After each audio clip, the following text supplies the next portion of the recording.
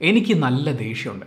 നമ്മളൊരു സിനിമ ആസ്വദിച്ച് കണ്ടുകൊണ്ടിരിക്കുമ്പോൾ പ്രത്യേകിച്ച് വളരെ ഇമോഷണൽ ആയിട്ടുള്ള രംഗങ്ങളിലൂടെ കടന്നു പോയിക്കൊണ്ടിരിക്കുമ്പോൾ പ്രധാന കഥാപാത്രങ്ങൾ അല്ല സൈഡിൽ നിൽക്കുന്നവരാണെങ്കിലും അവർ പറയുന്ന പ്രധാനപ്പെട്ട ഡയലോഗുകൾ അതിന്റെ മോഡുലേഷൻ അതൊക്കെ വളരെ പ്രധാനപ്പെട്ടതാണ്. ആ ഡയലോഗ് നമുക്ക് ക്ലാരിറ്റിയിൽ കേൾക്കാൻ പറ്റണം. ഇന്ന് ഞാൻ ജാക്സൺ ബസാർ യൂത്ത് എന്ന് പറയുന്ന സിനിമ വനിതാ വിനിത തിയേറ്ററിൽ സ്ക്രീൻ ടൂവിൽ കാണുന്ന സമയത്ത് ജാഫ്രിഡിക്ക് പറഞ്ഞ ഇമോഷണൽ ആയിട്ടുള്ള പല ഡയലോഗുകളും എനിക്ക് മനസ്സിലായിട്ടില്ല. എവിടെയോ പീക്കടിച്ച് നിൽക്കുന്ന പോലെ. അദ്ദേഹം മാത്രമല്ല സീനിയർ ആയിട്ടുള്ള താരങ്ങളിൽ പലരും സിനിമയുടെ തുടക്കത്തിൽ പറയുന്ന ഒരാൾ അലറി വിളിച്ച് ഒരു സങ്കടം പങ്കുവെക്കുന്നുണ്ട്. ആ ഇമോഷനൊക്കെ എനിക്ക് മനസ്സിലായി.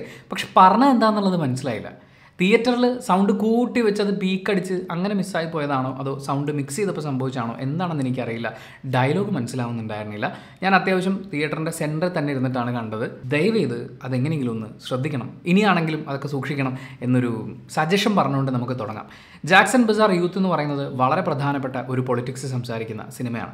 ഈ പൊളിറ്റിക്സ് പൊളിറ്റിക്കൽ കറക്റ്റ്നസ് എന്നൊക്കെ പറയുമ്പോൾ കഴിഞ്ഞ കുറച്ച് ദിവസങ്ങളായിട്ട് ഇൻസ്റ്റാഗ്രാമിലാണെങ്കിലും മറ്റ് നമ്മുടെ വീഡിയോസിന്റെ താഴെ കമൻസിലൊക്കെ ആണെങ്കിലും കുറേ ആളുകൾ പറയുന്ന ഒരു കാര്യമാണ്. അവൻ എല്ലാത്തിലും പൊളിറ്റിക്കൽ കറക്റ്റ്നസ് നോക്കുന്നു. ഉണ്ണുന്നതിലും ഉറങ്ങുന്നതിലും പൊളിറ്റിക്കൽ കറക്റ്റ്നസ് നോക്കി ജീവിക്കാൻ പറ്റുമോ എന്നൊക്കെയാണ്. നമ്മുടെ നാട്ടിൽ കുറേ ആളുകൾ എടുത്തു നോക്കിക്കഴിഞ്ഞാൽ അവർ പറയും നമ്മുടെ നാട്ടിൽ ഒരു കുഴപ്പമില്ല. നമ്മൾ സൂപ്പറായിട്ടാണ് പൊയ്ക്കൊണ്ടിരിക്കുന്നത്. ഇപ്പോൾ പോകുന്ന പോലെ തന്നെ പോയാൽ മതി. ഇവിടെയുള്ള എല്ലാ സിസ്റ്റവും ഇങ്ങനെ തന്നെ മതി.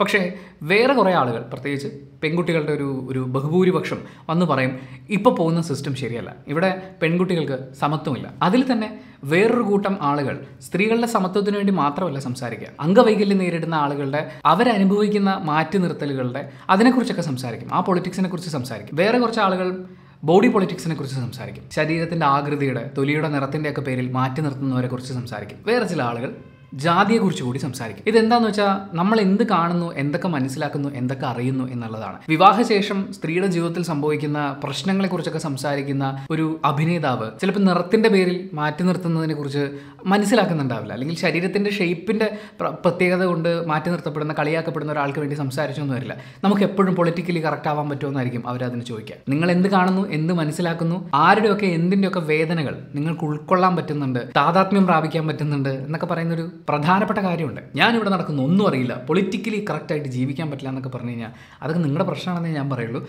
എനിക്ക് അങ്ങനെ ഇൻകറക്റ്റായി തോന്നുന്ന കാര്യങ്ങൾ അത് സിനിമയിലായാലും സമൂഹത്തിലാണെങ്കിലും ഞാൻ വിളിച്ചു പറയും. കാരണം ഇത് ഡോക്ടർ ബി ആർ അംബേദ്കർ ഭരണഘടന ഒരുക്കിയ രാജ്യമാണ്. ഇവിടെ നിന്നുകൊണ്ട് എനിക്കത് പറയാനുള്ള സ്വാതന്ത്ര്യമുണ്ട്. പക്ഷേ സംഭവം എന്താണെന്ന് വെച്ച് കഴിഞ്ഞാൽ അദ്ദേഹത്തെക്കുറിച്ച് പോലും ബഹുഭൂരിപക്ഷം ആളുകൾക്കും അറിയില്ല എന്നുള്ളതാണ്. അങ്ങനെ അറിയാത്ത അറിയാൻ ആഗ്രഹിക്കുന്ന ആളുകൾക്ക് ഒരു ഓഡിയോ ബുക്ക് കൂടി പരിചയപ്പെടുത്തിക്കൊണ്ട് നമുക്ക് സിനിമയുടെ വിശേഷങ്ങളിലേക്ക് കടക്കാം. ഡോക്ടർ ബി ആർ അംബേദ്കർ അദ്ദേഹത്തിന്റെ ജീവിതം ആദർശങ്ങൾ ആശയങ്ങൾ നിലപാടുകൾ എന്നിവയെക്കുറിച്ചുള്ള ഒരു ഓഡിയോ ബുക്കാണ് കുക്കു എഫ് എമ്മിൽ അവൈലബിൾ ആണ്. ഇന്ത്യയിലെ ലീഡിംഗ് പോഡ്കാസ്റ്റ് പ്ലാറ്റ്ഫോമാണ് കുക്കു എഫ് എം. ഞാൻ പറയുന്നത് കുക്കു എഫ് എം ഡൗൺലോഡ് ചെയ്ത് ഉടനെ തന്നെ സബ്സ്ക്രിപ്ഷൻ എടുക്കാൻ വേണ്ടിയിട്ടല്ല. കുക്കു എഫ് എമ്മിൽ ഒരുപാട് ഫ്രീ എപ്പിസോഡ്സ് അവൈലബിൾ ആണ്. അതൊക്കെ കേട്ട് നോക്കുക. അങ്ങനെ കേട്ട് നോക്കുമ്പോൾ ഇരുപത്തഞ്ച് ലക്ഷത്തിലധികം ആളുകൾ സബ്സ്ക്രൈബ് ചെയ്തിട്ടുള്ള ആ പ്ലാറ്റ്ഫോമിൽ ഒരു സബ്സ്ക്രിപ്ഷൻ എടുക്കണമെന്ന് നമുക്ക് തന്നെ തോന്നും. അങ്ങനെ സബ്സ്ക്രിപ്ഷൻ എടുക്കണമെന്ന് തോന്നുമ്പോൾ ഉണ്ണി ഫിഫ്റ്റി എന്ന കൂപ്പൺ കോഡ് അപ്ലൈ ചെയ്യുക. അൻപത് ശതമാനം ഡിസ്കൗണ്ട് അവരുടെ മാസ വാർഷിക സബ്സ്ക്രിപ്ഷൻ പ്ലാനിൽ നിങ്ങൾക്ക് കിട്ടും. എല്ലാ ആഴ്ചയും പുതിയ പുതിയ കോണ്ടന്റ് അപ്ലോഡ് ചെയ്തുകൊണ്ട് Kuku F M bigger and better ആയി മാറിക്കൊണ്ടിരിക്കുകയാണ്. നമുക്ക് ഇഷ്ടമുള്ള സമയത്ത് ഇഷ്ടമുള്ള സ്ഥലത്തിരുന്ന് ഇഷ്ടമുള്ള അത്രയും ഓഡിയോ കോണ്ടന്റ് കൺസ്യൂം ചെയ്യാം. അത് നമ്മുടെ റീജിയണൽ ലാംഗ്വേജിൽ കൺസ്യൂം ചെയ്യാം എന്നുള്ളതാണ്. So Kuku F M download ചെയ്യൂ. നിങ്ങളുടെ മനസ്സിന് ഇഷ്ടമുള്ളത് കേൾക്കൂ. ജാക്സൺ ബസാർ യൂത്തിന്റെ പോസിറ്റീവ്സിൽ ഒന്നാമത്തത് ആ സിനിമ സംസാരിക്കുന്ന രാഷ്ട്രീയമാണ്. ഒരുപാട് റെലവന്റ് ആയിട്ടുള്ള വളരെ കറന്റ് ആയിട്ടുള്ള അതായത് എത്രയോ വർഷങ്ങൾക്ക് മുമ്പ് തുടങ്ങിയ പോരാട്ടങ്ങളാണ്. ആ പോരാട്ടങ്ങൾ ഇന്നും നമ്മുടെ ചുറ്റും നടക്കുന്നുണ്ട്. പക്ഷേ നമ്മൾ സൗകര്യം വരുമ്പോൾ അല്ലെങ്കിൽ ആരെങ്കിലുമൊക്കെ ആ പോരാട്ടത്തിന്റെ പേരിൽ ജീവത്യാഗം ചെയ്യുമ്പോൾ ഒക്കെയാണ് നമ്മളതൊക്കെ ശ്രദ്ധിച്ചു നോക്കുക. എന്നിട്ട് സോഷ്യൽ മീഡിയയിൽ വന്നിരുന്നത് കവിതയൊക്കെ എഴുതുകയാണ് ചെയ്യുക. മണ്ണിന് വേണ്ടിയുള്ള ജാതി അധിക്ഷേപത്തിനെതിരെയുള്ള ഒത്തിരി ഒത്തിരി ഒത്തിരി പൊളിറ്റിക്കലായിട്ടുള്ള സ്റ്റേറ്റ്മെന്റുകൾ നമ്മുടെ മുന്നിലേക്ക് എടുത്തു വെക്കുന്ന ഒരു സിനിമയാണ് ചർച്ചയ്ക്ക് വെക്കുന്ന ഒരു സിനിമയാണ്.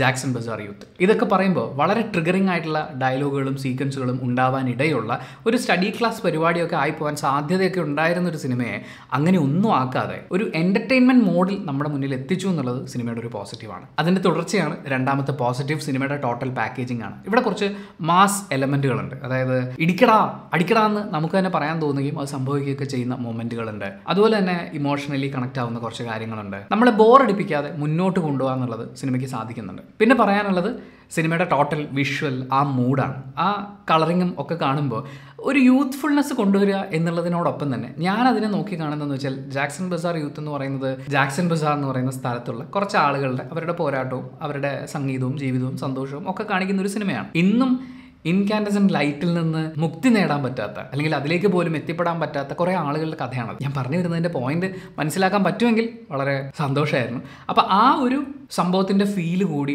ഈ സിനിമയുടെ ടോട്ടൽ കളറിങ്ങും ഒക്കെ നമ്മളിലേക്ക് എത്തിക്കുന്നുണ്ട്. അടുത്ത ഏറ്റവും വലിയ പോസിറ്റീവ് എന്ന് പറയുന്നത് സിനിമയുടെ മ്യൂസിക്കാണ് ഗംഭീരമായിട്ട് ചെയ്തിട്ടുണ്ട്. അതിൽ ഓരോ സീക്വൻസുകളും പ്രത്യേകിച്ച് വളരെ ഉദ്വേഗം നിറയ്ക്കുന്ന കുറേ കാര്യങ്ങളൊക്കെ ഉണ്ട്. പല സീനുകളും കുറച്ചും കൂടി മുന്നോട്ട് എടുത്തു വെക്കുന്നത് ഇതിന്റെ മ്യൂസിക് ഡിപ്പാർട്ട്മെന്റ് തന്നെയാണ്.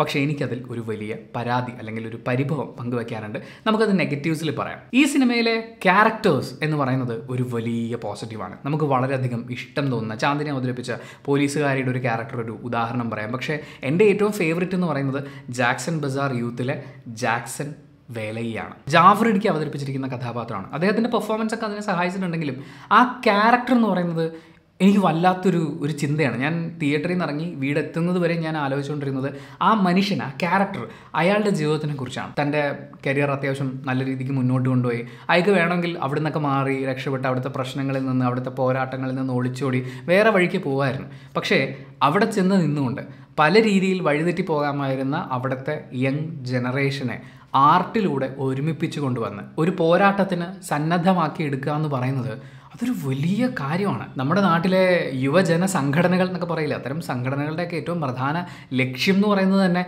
അതാണ്. ആ ലക്ഷ്യം മറന്ന് വേറെ വഴിക്ക് പോകുന്ന ഒരുപാട് സംഘടനകളെ നമുക്ക് ചുറ്റും കാണാൻ പറ്റും. പക്ഷേ ഇവിടെ ആ ഒരു കാര്യത്തിനെ ജാക്സൺ വേലയെ ചെയ്തിരിക്കുന്നത് ഗംഭീരമായിട്ടാണ്. കാരണം ഇതുപോലെയുള്ള ഇടങ്ങളിൽ ഇത്തരം സംഘടനകൾ പരാജയമാവാറാണ് പതിവ്. അല്ലെങ്കിൽ അത്തരം സാഹചര്യങ്ങളിൽ ജീവിക്കുന്നവരെ ഒരു പ്രത്യേക ബ്രാക്കറ്റിനുള്ളിൽ കുടുക്കി അപമാനിച്ച് എഴുതി തള്ളുന്നവരുടെ കൂട്ടത്തിൽ പല സംഘടനകളെയും നമുക്ക് കാണാൻ പറ്റും.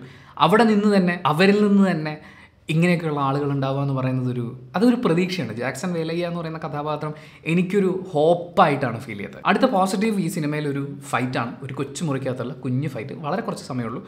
പക്ഷെ അത് പൊളിച്ചെടുത്തിട്ടുണ്ട്. പിന്നെ പെർഫോമൻസുകൾ എല്ലാവരും രസമായിട്ട് തന്നെ ചെയ്തിട്ടുണ്ട്. ആരും മോശമാക്കിയിട്ടില്ല.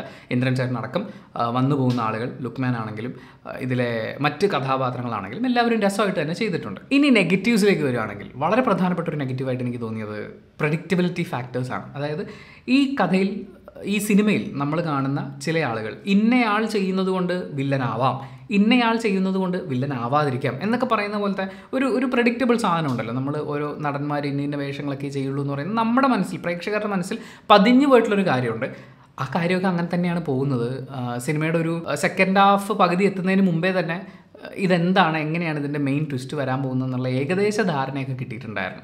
അതുകൊണ്ട് തന്നെ ആ ട്വിസ്റ്റ് ചുരുളഴിഞ്ഞ് വന്നപ്പോൾ വലിയ ഫീലും ഉണ്ടായില്ല. മറ്റൊരു നെഗറ്റീവായിട്ട് തോന്നിയത് ഇതൊരു സിനിമയാണ്. അപ്പം ഇങ്ങനെയൊക്കെ അവർക്ക് ചെയ്യാവുന്നതാണ്. പക്ഷേ വയലൻസ് എന്ന് പറയുന്നത് ഒരിക്കലും ഒരു പരിഹാരമല്ല എന്നുള്ളൊരു യാഥാർത്ഥ്യം അറിയാവുന്നതുകൊണ്ട്. ഇങ്ങനെയൊന്നും സംഭവിക്കില്ല. ഇതൊരു ഇതൊരു അൺറിയൽ സംഭവമാണ് എന്നുള്ള ഒരു തിരിച്ചറിവുണ്ടല്ലോ. സിനിമയുടെ തുടക്കത്തിൽ അവർ കാണിക്കുന്ന കാര്യങ്ങളൊക്കെ ആയിട്ട് ഇതിന്റെ ക്ലൈമാക്സ് അങ്ങോട്ട് സെറ്റ് ആവാത്ത പോലെ എനിക്ക് തോന്നി. പക്ഷേ അത് ഈ സിനിമ കാണണ്ടെന്ന് വെക്കാനുള്ളൊരു കാരണമൊന്നുമല്ല കേട്ടോ. അടുത്തൊരു നെഗറ്റീവായിട്ട് തോന്നിയത് സിനിമയുടെ ഓപ്പണിംഗ് ക്യാരക്ടേഴ്സിനെ എസ്റ്റാബ്ലിഷ് ചെയ്യുക. ഈ പറയുന്ന കാര്യങ്ങൾ കുറച്ച് സ്പീഡായി പോയി എന്നെനിക്ക് തോന്നി. വളരെ പെട്ടെന്ന് പടപടപടപട കുറേ കാര്യങ്ങളൊക്കെ കാണിച്ച് അങ്ങോട്ട് പോവുകയാണ്. ആ സീനുകളും സിറ്റുവേഷനും അവരുടെ കാര്യങ്ങളും ഒക്കെ കുറച്ചും കൂടി ഒന്ന് ഡീപ്പായിട്ട് നമ്മളിലേക്ക് എത്തിക്കത്തക്ക രീതിയിൽ ചെയ്തിരുന്നെങ്കിൽ കുറച്ചും കൂടി നന്നായിരുന്നു തോന്നുന്നു. സിനിമ ആകെ ഒരു മണിക്കൂർ അൻപത് മിനിറ്റേ ഉള്ളൂ. കുറച്ചും കൂടിയൊക്കെ അവരുടെ കാര്യങ്ങൾ ഒന്ന് കണക്ട് ചെയ്യിപ്പിക്കാമായിരുന്നു പ്രേക്ഷകരുമായിട്ട് എന്ന് തോന്നി. ഇനി പോസിറ്റീവ്സ് പറഞ്ഞ കൂട്ടത്തിൽ നെഗറ്റീവ് പറയുമ്പോൾ പറയാമെന്ന് പറഞ്ഞ ആ കാര്യം ഇതിന്റെ മ്യൂസിക് സൈഡിൽ എനിക്ക് ഫീൽ ചെയ്തൊരു കാര്യം. ബാൻഡ് സംഘമാണ് ഇതിലെ പ്രധാന കഥാപാത്രങ്ങൾ. അവരൊരു പരിപാടിക്ക് പോകുന്നതാണ് തുടക്കത്തിൽ നമ്മൾ കാണുന്നത്. അപ്പോൾ എന്റെ മനസ്സിലുള്ളൊരു ആഗ്രഹം എന്ന് പറഞ്ഞു കഴിഞ്ഞാൽ എന്റെ മനസ്സിലുള്ളതുപോലെ നടക്കണം എന്നൊന്നും നമുക്ക് വാശി പിടിക്കാൻ പറ്റില്ലല്ലോ. പക്ഷേ ഞാൻ ആഗ്രഹിച്ചിരുന്നൊരു കാര്യം എന്ന് പറഞ്ഞാൽ ഒരു റിയൽ ബാൻഡ് മേളം കാണുന്നത് പോലെ അതായത് ആ സൗണ്ടൊക്കെ ക്യാപ്ചർ ചെയ്ത് റിയൽ ആയിട്ട് ആ പരിപാടി കാണുന്ന പോലത്തെ ഒരു സൗണ്ടിങ്ങും എഫക്റ്റും ഒക്കെ ഞാൻ പ്രതീക്ഷിച്ചിട്ടുണ്ടായിരുന്നു. പക്ഷേ സംഭവിച്ചത് എന്താണെന്ന് വെച്ചാൽ ഈ ബാൻഡ് മേളത്തിന്റെ ആളുകൾ വന്നിട്ട് അവരുടെ ഇൻസ്ട്രുമെന്റ്സ് ജസ്റ്റ് വായിച്ചു തുടങ്ങുമ്പോഴേക്കും പിന്നെ നമ്മൾ കേൾക്കുന്നത് സ്റ്റുഡിയോയിൽ സെറ്റായിട്ട് ഇരുന്ന് റെക്കോർഡ് ചെയ്ത് പ്ലേ ചെയ്യുന്ന പോലത്തെ സൗണ്ട്സാണ് എനിക്കെന്തോ അത് അത്ര അങ്ങോട്ടൊരു സുഖമായിട്ട് തോന്നിയില്ല. ആ ഒരു ആ ഒരു സൗണ്ടിങ് ശരിക്കും കിട്ടിയില്ല. റിയൽ സൗണ്ട് ഉണ്ടല്ലോ. അത് ഉണ്ടാക്കുന്ന ഒരു ഫീൽ എന്ന് പറഞ്ഞാൽ അത് വേറെ ലെവലിലുള്ള ഒരു സാധനമാണ്. അതുണ്ടായിരുന്നെങ്കിൽ കുറച്ചുകൂടി ബെറ്റർ ആയിരുന്നേനെ എന്നുള്ളതാണ്. ആകെ മൊത്തത്തിൽ എങ്ങനെ ഫീൽ ചെയ്തു എന്ന് ചോദിച്ചു കഴിഞ്ഞാൽ ഒരു വൺ ടൈം വാച്ചബിൾ സിനിമ എന്നാണ് എനിക്ക് തോന്നിയത്. ഒരു അറുപത്തഞ്ച് ശതമാനത്തോളം എന്നിലെ പ്രേക്ഷകൻ സാറ്റിസ്ഫൈഡ് ആണ്. നിങ്ങൾ ഈ സിനിമ തിയേറ്ററിൽ കണ്ട ആളാണെങ്കിൽ നിങ്ങളുടെ അഭിപ്രായങ്ങൾ വീഡിയോയുടെ താഴെ ഒരു കമന്റായിട്ട് രേഖപ്പെടുത്തുക. And thank you so much for watching this video video ഇഷ്ടപ്പെട്ട ലൈക്ക് ചെയ്യുക കമന്റ് ചെയ്യുക ഷെയർ ചെയ്യുക. സബ്സ്ക്രൈബ് ചെയ്യുന്ന കാര്യം പരിഗണിക്കുക.